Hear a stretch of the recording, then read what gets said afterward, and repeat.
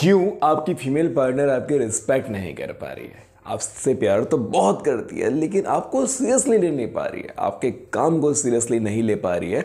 और तो और आपको बहुत हम्म, बेवकूफ़ वाला फील कराती है कि यूँ ही मतलब आपकी बातों को यूँ ही डाल देती है यूँ ही हल्के में ले लेती है। आपके ज़रूरी से ज़रूरी काम को वो अपने बहुत मामूली से काम के लिए मैनिपुलेट करने की कोशिश करती है। तो इसका कारण क्या है? ये आज के वीडियो में हम समझेंगे। पिछले वीडियो में हमने डेविड डैडा की एक बुक जिसका नाम है the way of superior man के बारे में बात किया था, जिसमें एक टॉपिक था कि never change your mind just to please a women. आज उस टॉपिक को हम और ज़्यादा ब्रीफली समझेंगे, क्योंकि आप लोगों ने बहुत सवाल पूछे हैं कमेंट में। नमस्ते है जी मैं हूँ मयंक धरवान, आपका अपना हैप्पी वाला हीलर।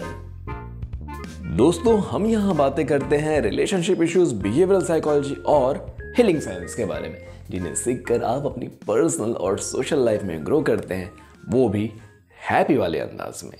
और इसीलिए आपको इस चैनल को क्या करना है, आपको तो पता ही है। So never change your mind just to please a women never do anything just to please a women ऐसा कोई काम मत करो, सिर्फ़ अपनी बंदी को खुश करने के लिए, उसे प्लीज़ करने के लिए, उसे बहुत ऊँचा अहदा महसूस कराने के लिए। जी हाँ। सुनने में बहुत अजीब लग रहा है। आप ये बात तो फीमेल सुन के और ज़्यादा गुस्सा करेंगी मेरे इस वीडियो को देख करके। लेकिन ये सच है बेटा, कि अगर आपका मेल आपसे ज़्यादा ही आपको खुश करने की कोशिश करता है ना तो आप खुश तो होते हो, पर उनकी रिस्पेक्ट नहीं कर पाते हो। एक्चुअली आपके फेमिनाइन नेचर को, एक मैस्कुलिन नेचर वाला मेल चाहिए। उससे आपको एक बेसिकली आपको एक मर्द चाहिए, जिसमें क्षमता हो आपको दबाने की। मतलब दबाने मतलब वैसा वाला नहीं। अब भाई मेल्स ये सोच के मतलब कि फीमेल्स को दबाना है, वैसा नहीं। अपने गुडविल से, अपने अच्छे व्यवहार से मतलब इतना ज़बरदस्त सुपीरियर मेल हो कि फीमेल अपने आप शरणागति चाहे फीमेल अपने आप उनसे झुकना चाहे, झुक के उसके सीने से लगना चाहे, कि ऑब्वियस सी बात है, एक मेल जब फीमेल से ज़्यादा पावरफुल होगा हर मामले में, क्योंकि फीमेल अपने से नीचे वाला मेल नहीं खोजती है अपने बराबर का मेल भी नहीं खोजती। वो अपने से ज़्यादा सोशल स्टेटस रखने वाला, ज़्यादा मैस्कुलिन नेचर रखने वाला, अपने से ज़्यादा दमदार, ताकतवर, हर चीज़ में, चाहे वो फाइनेंशियली हो, चाहे वो बिहेवियर वाइज हो, चाहे वो सोशली हो, चाहे वो पॉलिटिकली हो, हर मामले में उसका मेल सुपीरियर होना चाहिए दूसरे मेल से, ताकि वो अपनी फ्रेंड्स अपनी सहेलियों के सामने खड़े होकर अपने बंदे के बारे में इतरा के बता सके। तो यहाँ पे मैं एक एग्जांपल दे रहा हूँ आपको कि जैसे कि एक मेल है जिसको एक बहुत अच्छी अपॉर्चुनिटी मिली है कि लाइफ में एक बहुत कैरियर अपॉर्चुनिटी मिली है या एक बहुत अच्छा बिज़नेस मिला है जिसकी वजह से तीन से चार महीने के लिए या छः महीने के लिए उसको आउट ऑफ़ स्टेशन जाना है। मतलब कि बहुत दूर जाना है। एक लॉन्ग डिस्टेंस रिलेशनशिप होने वाला है। है ना? और आप एक रिलेशनशिप में हो आपकी बंदी बहुत रो रही है कि बाबू क्यों जा रहे हो? ऐसा है, वैसा वो बार्गिन करने की हर मुमकिन कोशिश कर रही है कि ऐसा करके वैसा नहीं कर सकते क्या? वैसा करके ऐसा नहीं कर सकते क्या? नहीं जाओगे तो नहीं बनेगा क्या? ऑनलाइन करके नहीं देख सकते क्या? या हम दोनों साथ में नहीं जा सकते क्या? वो दुनिया भर की बातें करेंगी। लेकिन वो सिर्फ़ इसलिए कर रही है वो अपने ग्रीफ को, अपने दुख को एडजस्ट करने के लिए एक्सेप्ट करने के लिए जो फाइव स्टेज होते हैं ना, जो जो मैंने शायद कभी नहीं बताया, लेकिन आपको बता देता हूँ कि किसी भी दुख को, किसी ग्रीप को एडजस्ट करने के लिए पाँच स्टेज होते हैं। वो फाइव स्टेजेस कुछ ऐसे होते हैं। Denial anger bargain depression and acceptance तो क्योंकि वो दुखी है, वो ग्रीफ में है तो अपने इस ग्रीफ को एडजस्ट करने के लिए वो पहले डिनाई करती है, फिर एंगर करती है, गुस्सा करती है बार्गिन करती है डिप्रेस होती है लास्ट में एक्सेप्ट करती है। तो ये तरीका है किसी भी दुख को सहने का। आप जा रहे हो यार उसे दूर वो दो तो दुखी होगी ना। लेकिन लेकिन लेकिन अगर आप अपने उस कैरियर अपॉर्चुनिटी को, अपने उस ज़्यादा बढ़िया काम को, जिसको वो भी समझ रही है कि ये बहुत ज़रूरी है, वो सिर्फ़ दुखी है, वो खुश है कि आपको ज़बरदस्त करने वाले हो, लेकिन वो दुखी है क्योंकि आप जा रहे हो। और सिर्फ़ उसे खुश करने के लिए, सिर्फ़ वो दुखी ना हो, इसलिए अगर आप अपनी उस कैरियर अपॉर्चुनिटी को छोड़ देते हो, अपने उस ज़रूरी काम को छोड़ देते हो, वो फीमेल उस टाइम तो बहुत खुश होगी। बाबू, सोना, जादू, टोना सब होगा। लेकिन अंदर से आपके लिए रिस्पेक्ट मर जाएगा। वो रिस्पेक्ट नहीं कर पाएगी यार आपका। और एक बहुत ही मानी हुई पक्की लाइन बता रहा हूँ your purpose must come before your relationship आपका पर्पस सबसे ज़्यादा बड़ा होना चाहिए इवन आपके रिलेशनशिप से भी। अब ऐसे सिचुएशन की बात नहीं कर रहा हूँ कि आपकी बंदी को कुछ ज़्यादा ही बड़ी कोई प्रॉब्लम आ गया, उसको सब छोड़ छाड़ के, उसकी प्रॉब्लम्स को छोड़ छाड़ के आप अपने पर्पज़ के लिए निकल जा रहे हो।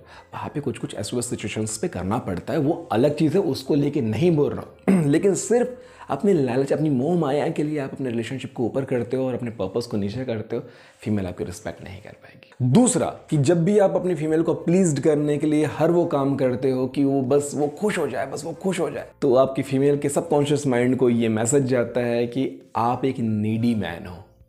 और मैंने एक बात हमेशा बताया था, मैंने इस वीडियो पे ये बात अच्छे से समझाया था कि नीडी मैन को फीमेल कभी पसंद नहीं करती।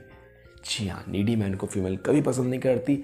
ये गार्ड बाँध लो, लिख के रख लो, छाती में गुदवा लो कि कभी भी नीडी मैन को फीमेल पसंद नहीं करेगी। आप लाइक करते हो एक फीमेल को, आप वांट रखते हो उस फीमेल का मतलब आपके वांट में है वो फीमेल आपकी पार्टनर लेकिन अगर वो नीड में चली गई, वो आपको पसंद नहीं करेगी, क्योंकि नीड नेगेटिविटी को जन्म देता है और वांट पॉजिटिविटी को जन्म देता है। आप उसको चाहते हो, इसलिए बहुत कुछ करते हो, लेकिन सिर्फ़ आपको उसकी ज़रूरत है बोल के आप वो सब कुछ करते हो, हर चीज़ छोड़ने को तैयार हो। फीमेल आपको रिस्पेक्ट नहीं कर पाएगी।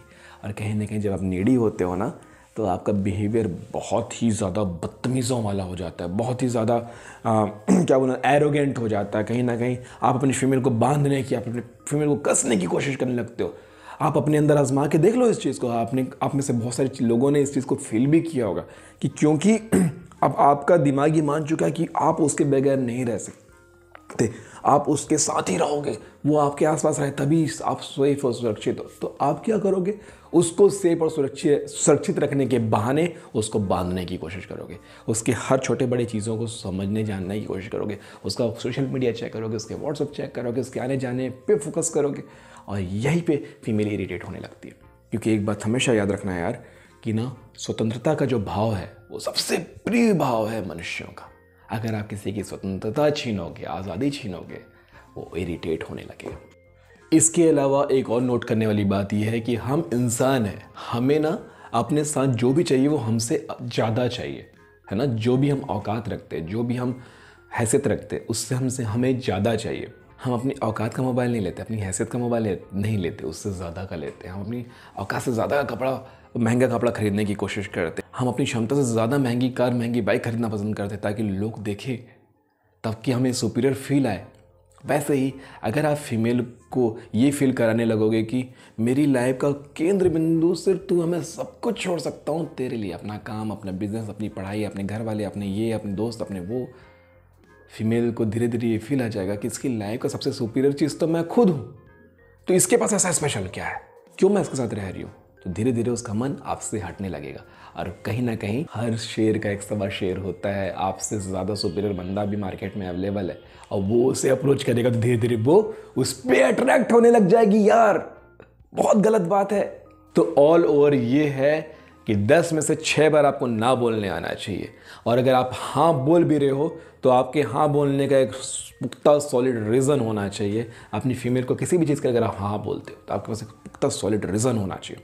और आपको हमेशा ये ध्यान में रखना है कि उस डिमांड जो डिमांड कर रही है आपकी फीमेल उसके बदले आपको क्या दे रही है। फ़िज़िकल ऑर्गेज़म की बात नहीं चल रही है। मेल्स यहीं पे चीप हो जाते हैं। सिर्फ़ फ़िज़िकल क्योंकि फीमेल आपको फ़िज़िकल ऑर्गेज़म दे रही है बस उसी के लिए आप उन्हें इतना ज़्यादा प्लीज़ करने लगते हो इतना ज़्यादा चाटने लगते हो समझ रहे हो? चाट तलवे चाटने लगते हो उसके कि वो देगी। बहुत चीप बात है। एक मेल का जब सबसे सबसे एक, एक मर्द की सबसे बड़ी कमज़ोरी क्या है पता है? पजामे के नाड़े का ढीला होना। एक मर्द मर्द तब होता है जब उसके पजामे का नाड़ा कसा होता है। मेरी बात समझ में आ गई है। आप समझ चुके फ़िल्मों में भी देख लो आप हीरोज़ की पर्सनालिटी को देख लो वो यूँ ही नहीं पिघल जाता फीमेल्स पे हुँ? हम्म? वो कोई आ, कोई और फीमेल आके उससे सड्यूस करने की कोशिश करते तो यूँ ही नहीं बहक जाता वो पजामे का कसा हुआ इंसान ही हर किसी को पसंद आता है। तो फीमेल डायरेक्ट इनडायरेक्ट आपको टेस्ट कर रही होती है। वो सबकॉन्शियसली उसको पता भी नहीं होता कि वो आपको टेस्ट कर रही है या नहीं कर रही है। लेकिन वो धीरे धीरे आपको जज कर लेती है। अब वो समझ लेती है कि आप ज़िंदगी बिताने वाले बंदे हो या नहीं। रिलेशनशिप में तो कोई भी लड़की रह जाएगी, घूमना, फिरना, खाना, पीना, रात को सोना, सुबह उठ के अपने घर चले जाना। वो कोई भी कर लेता है। आज का ज़माना बहुत मॉडर्न हो गया है, ठीक है? लेकिन अगर लाइफ बिताने की बात हो रही ना दोस्त तो लड़की हर पैमाने में आपको जांचेगी, परखेगी। और आपको सुपीरियर मेल बनना है। और जैसा कि मैंने पिछले वीडियो में बताया था कि मेल चूज़ नहीं करते फीमेल को फीमेल चूज़ करती है मेल को। ओके सो आशा करता हूँ ये टॉपिक आपको अच्छे से समझ में आएगा। और कोई कंफ्यूजन होगा तो आओ कमेंट में पूछो। इंस्टाग्राम में आगे मुझसे बात करो, बात करेंगे प्रॉब्लम को सॉल्व करेंगे। नहीं समझ में आएगा तो वीडियो बनाएँगे। मिलते रहेंगे आने वाले वीडियो पे। तब तक के लिए।